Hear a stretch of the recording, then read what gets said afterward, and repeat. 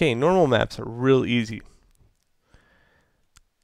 We used to have the ability to do a scan trace on it, basically taking the normals and uh, making it so the normal can extend out farther and do a scan from that and see the change. We no longer have that ability because I don't know why. The, the um, one normal map generator that used to be in here is now gone in 3.12b, but saying that it is actually 3,000 times better than what it was.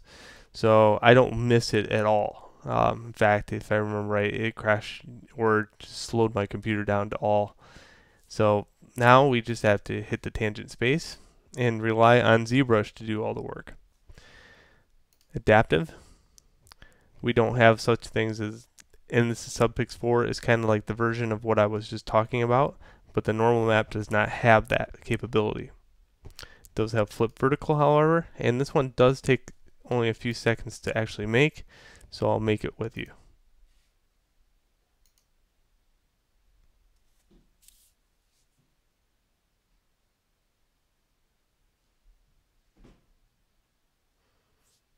and see how it says a processing adaptive arrays. That that's what we were able to change was the adaptive array ratio. Again, don't miss it.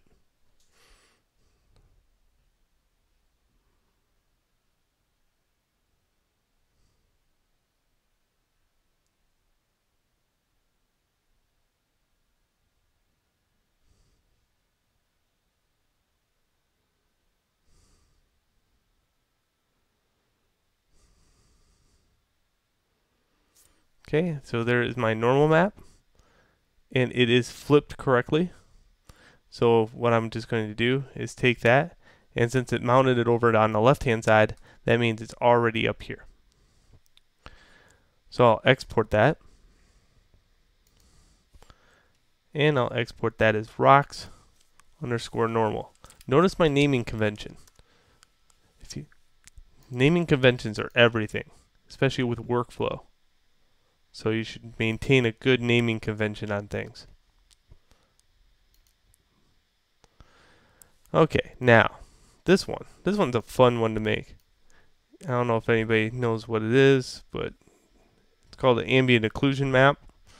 Basically, you can use it to multiply your cracks and crevices, uh, and it will strengthen up those values within the shadow region okay? And that's based on your color that it, it multiplies your uh, cracks and crevices onto your color layer.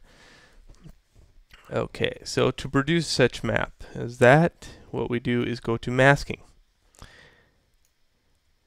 And we take your ambient occlusion distance and up it quite a bit.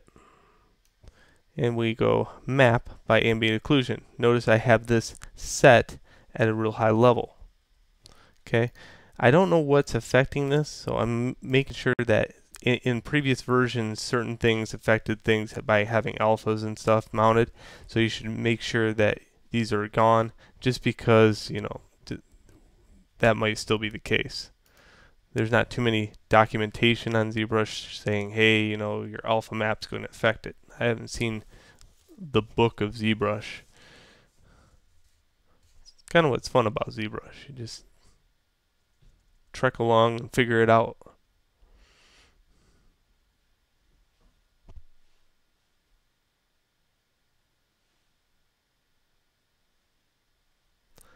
Alright, so that's going to take some time. So in the next video, I'll show you a little bit more.